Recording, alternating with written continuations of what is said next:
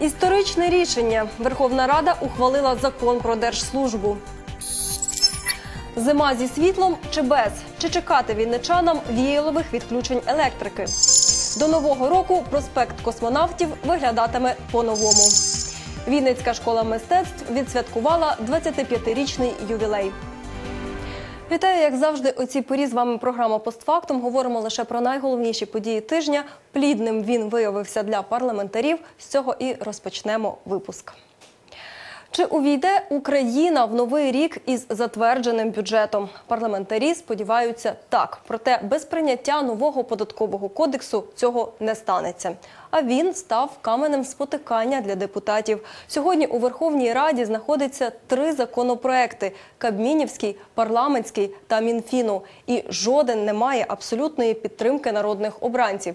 В цей же час спікер Верховної Ради Володимир Гройсман назвав три основних напрямки, на яких має базуватись податкова реформа. Це прозора система адміністрування для виключення корупційних діянь, розумні ставки податку, які не заганятимуть бізнес в тінь, і сталість, тобто незмінність правил гри щонайменше на 5 років.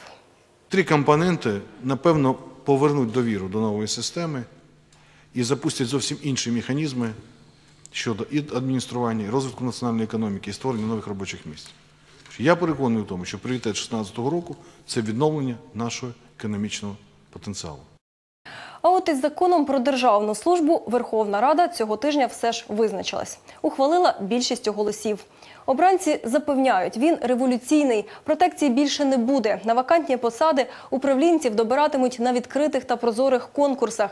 Міністерствах кадровою політикою займатимуться не міністри політики, а державні секретарі. Як приймали закон, голосування по якому не один раз переносили, дивимось далі. Багатостраждальний законопроект про держслужбу, який з літа зазнав півтори тисячі поправок, знову не влаштовує деяких народних депутатів. Аби не обговорювати всі пропозиції, спікер використав адхок відхилення від норм регламенту для оперативного розгляду нагальних питань. Володимир Борисович, у минулому скликанні, де регіонали мали більшість, навіть вони так не гвалтували. Вони вимушені були розглядати друге читання, тисячі поправок і так далі. А ви гвалтуєте гірше, ніж регіонали. Якщо регіонали і когось гвалтували, то я навіть на таке не здатен. Прошу, колеги, прошу це врахувати. Я можу бути тільки дуже наполегливим в тих випадках, якщо ці рішення слугують інтересам українського народу. Серйозна дискусія виникла навколо пенсій держслужбовців. Одні депутати пропонували урівняти всіх, інші цього не підтримали. Мовляв, у держслужбовців податки вищі, тож і отримувати мають більше. Рівні права для всіх. Якщо людина вже заплатила за такі пенсії, то потрібно їм таким чином і віддати. Новий закон обмежує політичну діяльність управлінців. Тож депутати, міністри і президент тепер не є державними службовцями. Державні службовці це ті, хто постійно працюють на постійній основі на державу. Вони не можуть бути членами партії, і фактично вони залишаються на цій посаді, навіть якщо міняються президенти, уряди, голови адміністрації. Держслужбовців поділять на три категорії замість нинішніх семи: а це вищий корпус, б керівники підрозділів і в всі решта. ранги були потрібні для того, щоб розписувати привілеї. Тому вони так всі і чіплялися, щоб той ранг був, той ранг був. Приймати на державну службу тепер будуть лише на конкурсній основі. Відбором кандидатів займатимуться спеціальні комісії. Нові правила наберуть чинності з 1 травня наступного року. Оксана Святенко спеціально для постфактуму. Наприкінці січня, початку лютого 2016-го Вінницю патрулюватимуть 265 поліцейських, з них 35 дівчата. Їх відібрали з понад 8,5 тисяч кандидатів. Наразі на базі тренінгового центру головного управління національної поліції у Вінницькій області вони проходять навчання. Тим часом колишніх міліціонерів, які виявили бажання стати копами, тестують. За результатами першого етапу іспити успішно склали 13 тисяч правоохоронців. Далі їх перевірятимуть спеціальні комісії. Тест на детекторі брехні пройде вище керівництво, а також ті, в кому засумнівається атестаційна комісія. На українців очікує четверта хвиля демобілізації навесні наступного року. Наразі в українській армії продовжують нести службу солдати четвертої, п'ятої та шостої хвиль. Щодо наступної у генштабі запевняють, передумов поки що немає. Якщо і мобілізують, то тих, хто потрапив під перші три хвилі. За даними Міноборони, чисельність української армії за рік зросла майже вдвічі до 280 тисяч чоловік. На лінії розмежування в Донбасі знаходиться 70 тисяч українських військових. Службове розслідування по факту зараження онкохворих дітей гепатитом С розпочали у дитячій обласній лікарні. Його ініціювала депутат обласної ради Лариса Білозір. За її даними, з дев'яти дітей, які на даний час лікуються в онкогематологічному відділенні, семеро мають гепатит С. Зараження відбулось після переливання крові або оперативного втручання. Таку інформацію депутату надали батьки хворих. Наразі проводиться перевірка обласного центру переливання крові та дитячого онковідділення. Президент Петро Порошенко оголосив 2016 роком англійської мови в Україні. А голова облдержадміністрації Валерій Коровій підписав розпорядження про затвердження плану заходів, спрямованих на популяризацію та активізацію її вивчення. Свій мовний рівень мають підвищити вчителі, школярі, а також держслужбовці. Курси для охочих організовують у Вінницькому лінгвістичному центрі. 60 тисяч ялинок до свят виростили вінницькі лісівники. Дерева марковані чіпами зі штрих-кодом. За їх номером та серією в інтернеті можна знайти інформацію про походження ялинок. Продавати деревцята в місті почнуть перед Днем Святого Миколая. Місця для базарів вже визначили. Загалом 10 майданчиків в різних районах. Середня ціна ялинки з лісового господарства 70 гривень.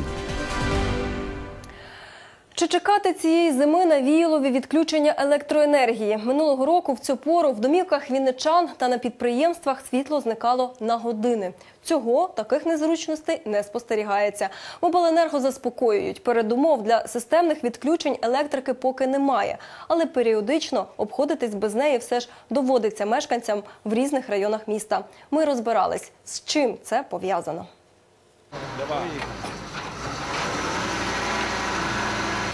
З ранку електромонтери на посту, озброївшись бензопилою, розчищають лінії електропередач від гілля. Сьогодні за планом обрізка дерев у приватному секторі по вулиці Мічуріна. По-перше, може бути замкнення проводів. Снігопади падають. Снігопади падають. Якщо нависають над проводами гілля, коли при снігу і вони можуть рвати провода. От. Потім йде потеря електроенергії, якщо провода лежать на, на, на, на, на гіляках. Роботи в цьому районі тривають вже другий день поспіль. На час їх проведення електроенергію вимикають. Це не може не обурювати, кажуть мешканці. Мовляв, про відключення їх не попереджають. Ніхто не попереджає. Приїхали, відключили, й все. Приходиться взнавати, чому, наскільки, як довго. Якби попереджали, може б і не було таких якихось проблем, люди могли б якось е, щось собі відключити там, чи ще щось, щоб прилади не виходили зі строю. Чи не найбільше відключення світла жахають мешканців квартир з електроплитами. На цей час вони залишаються не тільки холодні, а й голодні. Для нас виключення електроенергії це абсолютна катастрофа. Тому що е, ми не тільки не можемо приготувати їсти, ми не можемо навіть підігріти. Ні чай, ні кава вже недоступні для нас. Звичайно, для дитини треба вже готувати, ми вже підкормлюємось. В обленерго пояснюють, в таких мікрорайонах електрику намагаються вимикати максимум на 2-3 години, а при можливості проводити роботи без цього. Звичайно, що якщо будинок має декілька живлень від різних підстанцій, да, то альтерна- альтернатива є, що його можна на час виконання робіт на, од- е, скажімо, на одній підстанції переключити на живлення від іншого. Ну, це, скажімо, дуже е, в нас е, невелика кількість таких є будинків, які мають живлення таке подвійне. Як правило, вони мають живлення від одної від однієї підстанції. Ну і тут зрозуміло, що вони будуть вимушені е, перетерпіти цей час, коли будуть проводитись ремонтні роботи. Графіки планових відключень розміщують на сайті Обленерго за 5 днів до початку місяця. В компанії кажуть, попереджають про них і ЖЕКи, тому не розуміють, чому люди про відключення не знають. Ми практикуємо ще, як проводяться такі роботи, то попереджається відповідний ЖЕК. А, ти, в свою чергу, є така домовленість, що вони по під'їздах, ну, як правило, е, скажімо, розвішують такі обяви, щоб на такий-то день, щоб люди були готові, що з такого-то по такий час буде відсутня електрична енергія. Тимчасовий дискомфорт для городян вимушений. Виправдовуються енергетики. Більше половини ліній електропередач та трансформаторних підстанцій області морально застаріли і зношені, тому потребують обстеження, заміни та профілактики. Запас прочності в нас вже е, сягає е, критичних е, значень. Ну, ну, це факт. Наступного облідяніння я не знаю, як ми перенесемо. От в нас в марті була е, ситуація. Ну, фактично, е, в тих районах, де це от буревії пройшли і обледеніння, фактично всі мережі ми вимушені були міняти.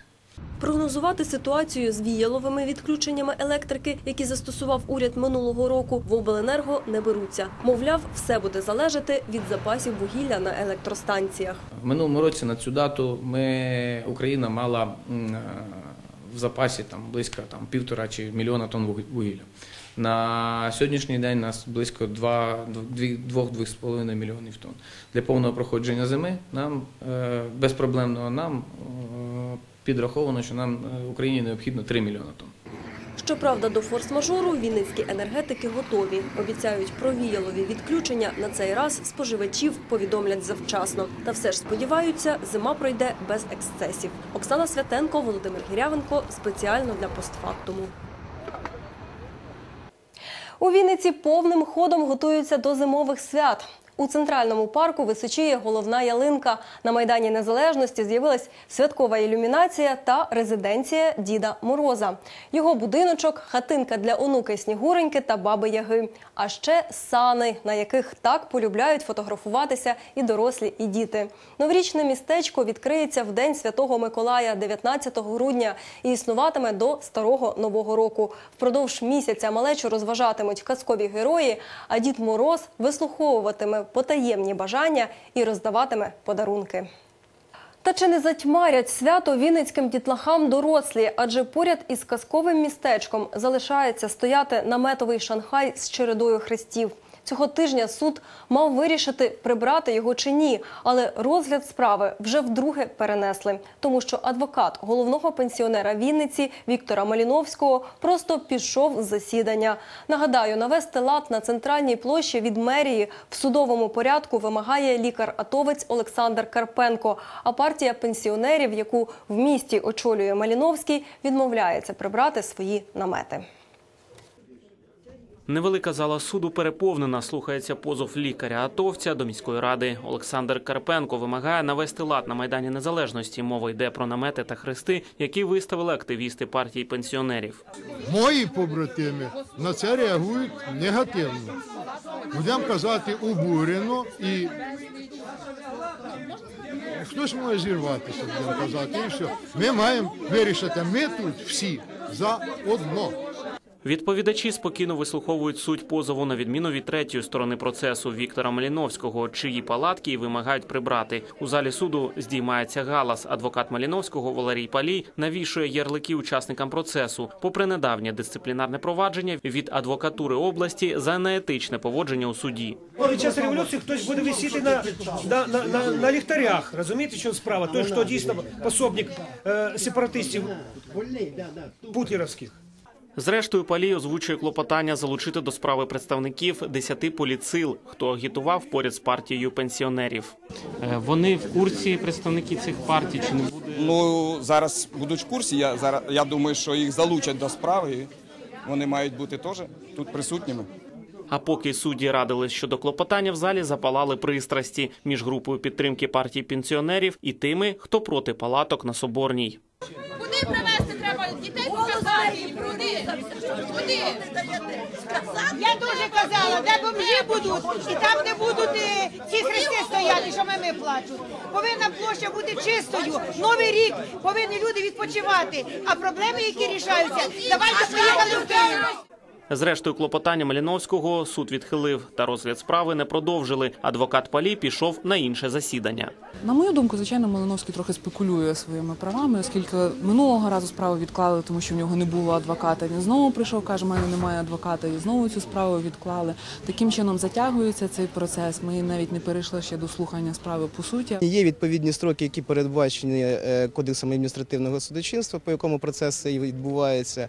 Але фактично, бачите, справа справа це непроста, дуже багато, скажімо так, емоційних е, питань в даній справі. Ось тому е, може й бути навіть одного року. Наступного разу суд засідатиме 16 грудня, але захисник позивача переконана, крапку у справі не поставлять, адже Віктор Маліновський заявив, у разі задоволення позову подасть на апеляцію. Прибрати хрести з майдану незалежності просять і представники релігійних конфесій. Про це говорили на раді церков в облдержадміністрації. Священнослужителі вирішили звернутись до організаторів так званого тарифного майдану, не використовувати християнську символіку в політичних баталіях. Ініціативу підтримали одноголосно. Духовенство вважає, це не відповідає канонам християнства. те, що стосується церковної символіки, тобто це називає хрест. Їх треба е, бажано так, І не мор- можна використовувати в політичних акціях. Цим вони не вшановують пам'ять е, тих, хто там висить на майках намальований. Той час, як на Майдані Незалежності гори-активісти псують плитку та газони, на Вишенці закінчують чепурити проспект космонавтів. З півкілометровою зоною від літака до вулиці Порика ремонтники обіцяють впоратись до Нового року. На алеї з'явилась модна тротуарна плитка, на черзі встановлення урн та лавочок. І вже у тестовому режимі працює Wi-Fi. Алея космонавтів довжиною в півкілометра від вулиці Порика до літака не впізнати. Вигляд вона змінила вперше за півстоліття. Тепер тут замість асфальту модна тротуарна плитка, її майже завершили класти. Гарно, тільки цікаво, наскільки буде довго триматись, чи не плитку цю не роздавять, коли будуть прибирати сніг, сміття забирати. А так гарно, звісно. Ще не зрозуміло, що тут є повністю. Wi-Fi, здається, є. Да. USB-зарядки, мабуть, на стопчиках, да? Значить, правильно. І відеокамери спостереження це. Все це буде працювати на проспекті космонавтів після її остаточного оновлення. Нині змонтували 30% обладнання. Щоправда, доступ до інтернету на алеї вже є, але він працює в тестовому режимі. Е, Це означає, що він буде працювати, але коли буде потрібно для будівельників е, щось підключити, щось змонтувати, він буде відключатися так, як буде обесточуватися. На проспекті космонавтів залишилось ще встановити урни для сміття. Вони будуть антивандальними, а ще вмонтують лавочки. Одна вже стоїть. Вони ж її зробили на 5 сантиметрів меншу. Коротшу. І вона була незручна. Я їм сказав переробити, то вони її, правда, рік переробляли, ну нічого. Тепер зручно? Так, да, нормально. От попробуйте. Самі попробуйте. А ну попробуй. Правда? Вам перекинь. Дуже зручно. Я хочу сказати вам. Спі- Спині хорошо. Єдине, що мають цього все доробити ще, бо це такий тестовий варіант, але все це вони зроблять. Реконструкція першої черги бульвару космонавтів обійшлася в 9 мільйонів гривень. На це були залучені кошти фонду регіонального розвитку, е, який абсолютно по-новому почав працювати у поточному році. І я думаю, що по мірі, по мірі того, як буде затверджений державний бюджет, е, область однозначно буде підтримувати ці проекти в місті Вінниці. І я думаю, що ми також підставимо своє плече якраз знову ж таки з фонду регіонального розвитку. Оновлену і реконструйовану алею вінничани побачать вже до кінця грудня. На слідуючий рік е, вже передбачається в проєкті бюджету 2016 року кошти е, на реконструкцію другої черги бульвару космонавтів від вулиці Василя Порика до Келицької. Також у 2016-му осучаснять і площу навколо літака. Ходили чутки, що міг 15 взагалі знесуть. Вінничанин навіть змонтував відеоролик, як би це було, і виклав його в інтернеті. Это все-таки память. В одних источниках я читал, что на этом самолете летал космонавт береговой, то есть номером 77. И эта боевая машина реально участвовала в боях в Северной Корее, то есть она имеет историю. Пам'ятник радянським льотчикам-визволителям Вінниці не чіпатимуть, так само, як і його постамент, запевнили керманичі міста. Пам'ятник був відкритий в такому вигляді, якому він є. Це є наша пам'ять, і тому е, кардинально змінювати, на мою думку, це не вірно. Водночас навколо літака з'явиться відкритий простір з деревцями, лавочками та паркувальною зоною. На наступний рік на подібні проекти Вінницька область отримає 210 мільйонів гривень. Оновлюють і перехрестя вулиць Чорновола Громова, встановлюють шість нових світлофорів та переносять пішохідний перехід. Це одна з найважливіших магістралей міста. Щогодини тут проїжджає щонайменше 300 машин. Крім того, з появою нового кварталу пішоходів теж побільшало як наслідок часті затори та аварійні ситуації. Але після встановлення світлофорів і турнікетів, перенесення зебри, а в подальшому розширення вулиці Громова на півтора метри, все буде до ладу, запевняють в мерії. Проект реконструкції цього перехрестя розробили цьогоріч, і обійдеться він бюджету у 870 тисяч гривень.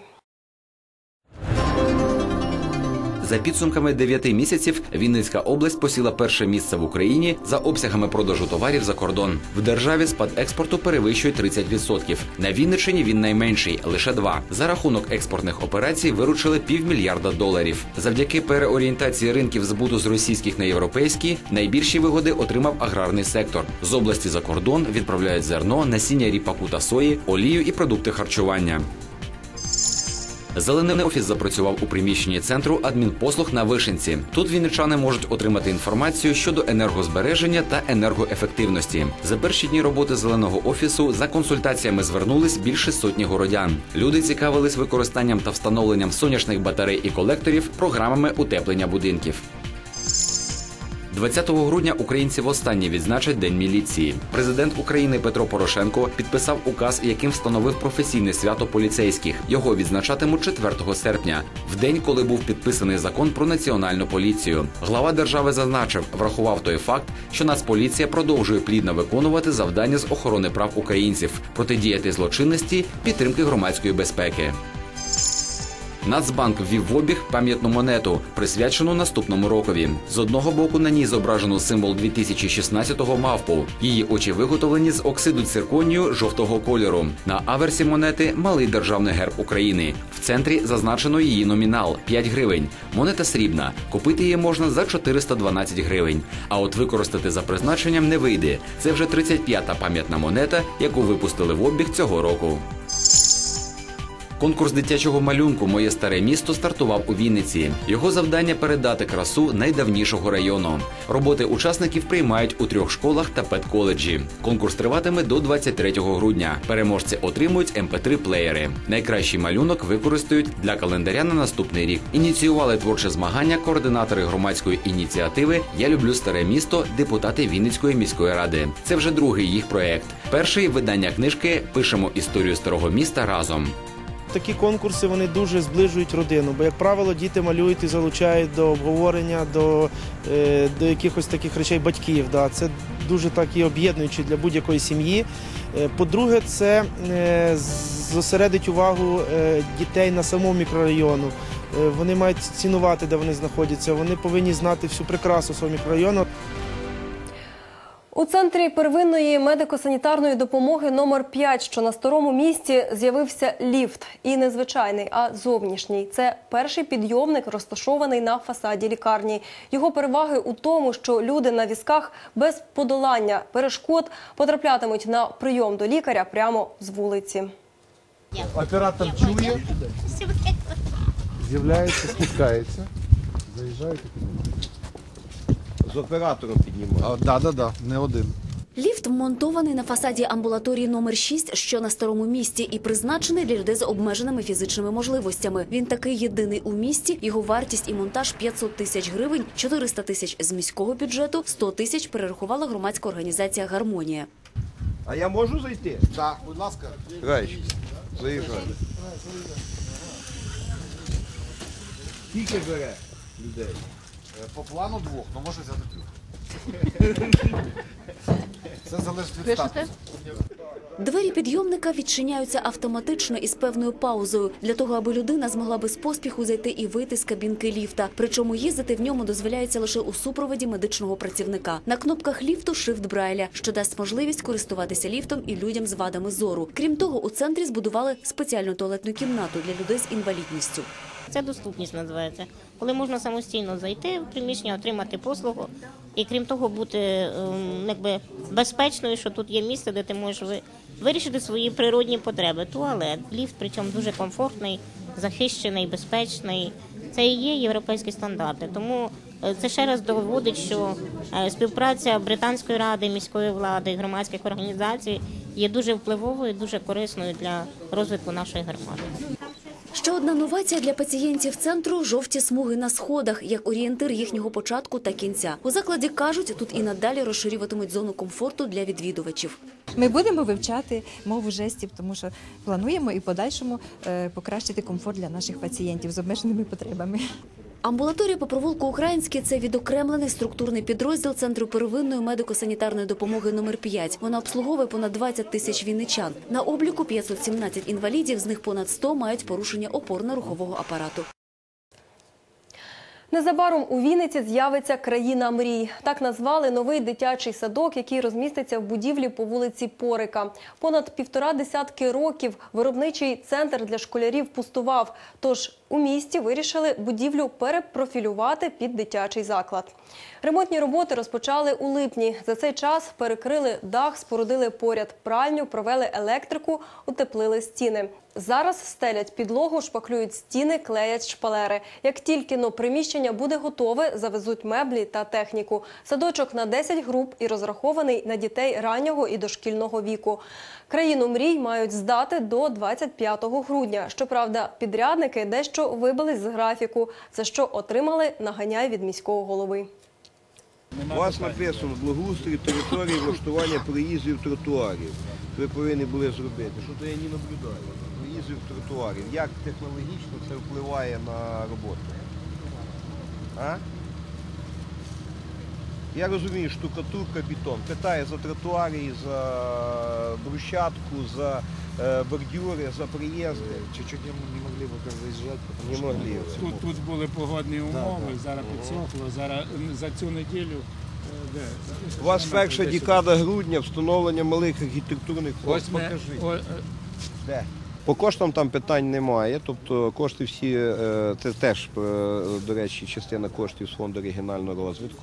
Е, Завчасно перераховується відповідно підряднику генеральному. На відміну від попередніх років, ефективно працює система державного казначейства, і це дає можливість виконувати всі наші зобов'язання перед підрядними установами, організаціями, перед постачальниками. І це має дуже важливе значення, тому, Да, що, це правда. тому що ми повинні повернути довіру е, до е, капітальних видатків державних. Вінницькій школі мистецтв чверть століття. Вона майже ровесниця незалежної України. В ті часи заклад був першим в області, де навчали усім видам мистецтв. Нині школі є чим пишатись. Колективи мають звання народних та зразкових учні, призери численних конкурсів. До святкування свого ювілею у школі підійшли творчо. Вінницька дитяча школа мистецтв була створена у 1990 році. Заклад нового типу першим в області об'єднав у своєму навчально-виховному процесі усі види мистецтв: музику, хореографію та образотворче мистецтво. В самі нелегкі часи, в самі непрості, коли важко було молодій державі нашій ставати на ноги, то вижила школа, завдячуючи, я вам скажу, е, тому, що вона багатопрофільна. Сьогодні у школі працюють відділення образотворчого мистецтва, музичне, вокально-хорове, підготовче та хореографічне. Загалом тут займається близько тисячі дітей. До прикладу, мистецтво танцю опановують майже півтори сотні молодих вінничан від 7 до 15 років. Що мені подобаються танці. Тут друзів багато я знайшла. Я в майбутньому, в майбутньому хочу стати танцюристкою. На базі школи працює зразковий ансамбль народного танцю Подоляночка. Ми багато подорожуємо по різним країнам, приймаємо участь в конкурсах, фестивалях різного рівня у всіх мистецьких проєктах міста, області. Тому дітям дуже цікаво, їх це дуже об'єднує, коли вони разом, коли вони далеко від батьків, стають самостійними. Крім того, заняття з хореографії корисні для здоров'я, кажуть педагоги. У дітей укріплюється кістково-м'язовий апарат, розвивається координація. Не менш корисною є і гра на музичних інструментах, переконують викладачі. Кожен рік є 3-4 дитини, яких астма або е, схильність до астми, і ці дітки приходять іменно для оздоровлення. Це допомагає їм пережити оцей такий перехідний період і зовсім е, забути про це захворювання. Флейта, саксофон, кларнет, сопілка. Навчатись грі на музичних інструментах можна починати з 4 років. Ярослава у школу мистецтв 6 років тому привели батьки. Пробував свої сили у різних видах мистецтва. Припав до душі саксофон. Мені подобається сам звук саксофону. Він як джазовий звук, як ніби не знаю, як уява, як ніби пробуджує якісь почуття. У школі мистецтв діє ансамбль бандуристів, оркестр народних інструментів та хор. Колективи мають звання народних та зразкових. Учні школи стають призерами конкурсів різних рівнів. Для багатьох випускників заняття у школі мистецтв допомогли обрати майбутню професію. На сьогодні в нас вже випускники є і академії музики, і художніх академій, і художніх інститутів, і училищ самих престижних, і Грекова в Одесі, і, музичного інституту Глієра в Києві, і музичної академії імені Чайковського. Свої творчі здобутки вихованці школи мистецтв продемонстрували на святковому концерті з нагоди ювілею закладу. Привітати його колектив прийшли випускники, батьки, представники обласної та міської влади. Кращих працівників нагородили грамотами та грошовими преміями. Очільники міста пообіцяли облаштувати для закладу нове приміщення. Я хотів би від імені міської ради, її виконавчого комітету, від імені нашого міського голови Моргунова Сергія Анатолійовича подякувати вам за той прекрасний благородний труд, який ви за ту працю, яку ви вкладаєте в наших дітей, в наше майбутнє. Отримайте, будь ласка, грамоту і медаль за заслуги перед народом України.